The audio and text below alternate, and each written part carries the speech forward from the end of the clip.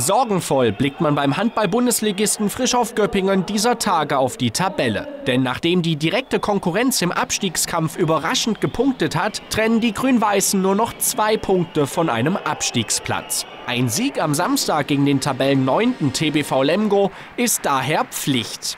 Brauchen wir nur einen Blick Richtung Tabelle machen und dann sieht man, wie wichtig ist das alles.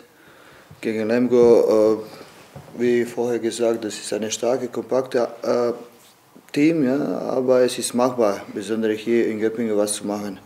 Und grundsätzlich, ich, will, äh, ich möchte heute nicht schauen, was macht Wegner, äh, muss man Achtung äh, äh, haben in Richtung unserer Kräfte und dass wir sind stark genug, sowas zu machen. Ein Blick auf die Statistik kann die Hoffnung auf einen Sieg durchaus beflügeln. Zwar ist der TBV Lemgo besonders auswärts stark und hat in dieser Saison in fremden Hallen schon mehr Punkte gesammelt als frisch auf zu Hause.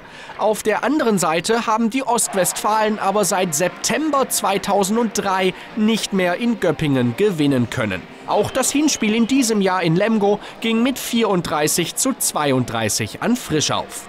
Noch ist allerdings unklar, ob Göppingens Trainer Alexander Knesewitsch am kommenden Samstag auf seinen kompletten Kader zurückgreifen kann. Sowohl Manuel Speth als auch Tim Kneule sind derzeit angeschlagen. Ob sie eingesetzt werden können, entscheidet sich erst kurzfristig. Anwurf in der Hölle Süd ist um 20.15 Uhr.